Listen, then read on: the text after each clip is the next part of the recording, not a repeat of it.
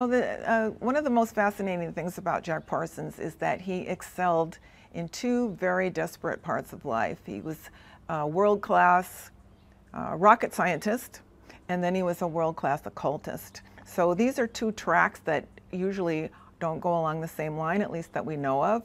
It's quite fascinating that someone would excel so highly in two different areas.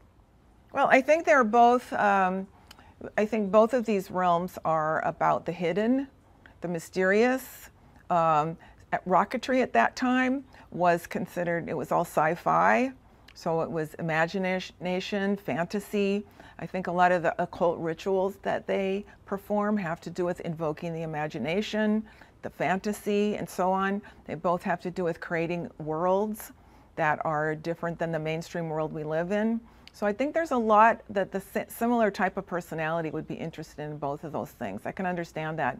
Even though one is uh, what we would call very left brain scientific, there was still so much with Jack that it was about envisioning how a, the future could be. And we might think of a magical practice or an occult practice as being more right-brained, but the type of occult practice that he was involved in has a lot to do with structure, imagining, following particular rituals, which would be left brain involvement also.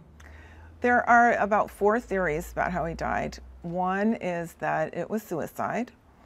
Uh, his father had been hospitalized for a long time for uh, intractable depression and uh, they didn't have the uh, treatments that we have today. So it may have been some sort of genetic propensity. Of course, he was using massive quantities of alcohol and drugs, which are depressive in nature. So that's one theory. That's not my favorite. Um, there's another theory that it was an accident. He blew himself up, which is quite possible because he uh, had had accidents previously. Uh, he had been expelled from school actually when he was young for creating accidents with explosives. Uh, another theory is that um, he was murdered, and um, there are several suspects if this is true. Um, he was being watched by the FBI.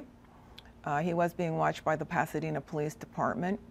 And there's a very fascinating theory, which is lately is uh, what seems most true to me, which is that earlier he had, I think it was about 10 years before he died, I'm not sure on the exact amount of time, but he had provided expert witness.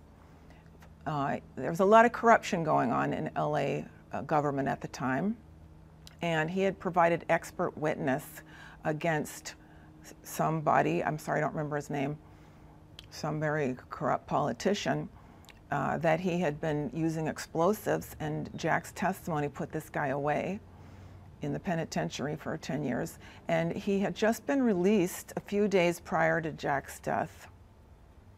So it's quite possible that this person uh, carried a grudge uh, and came out, and one of his first orders of business was to take care of the person who had put him in jail for 10 years.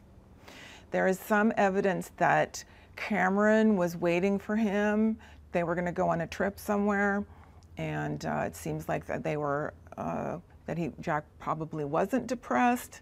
This is all conjecture, of course, but there are some reports that Jack wasn't depressed. He was looking forward to going on this trip with Cameron. She was waiting for him, and uh, so that would speak to perhaps some sort of uh, crime happening.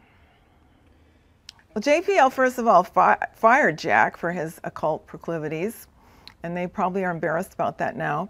Um, it's the occult is still seen as something uh, people have to whisper about, or uh, they're afraid it'll put a bad mark on their record. Uh, it's still very mysterious and uh, full of secrets. Uh, it's sex positive, which the mainstream culture is, doesn't really like.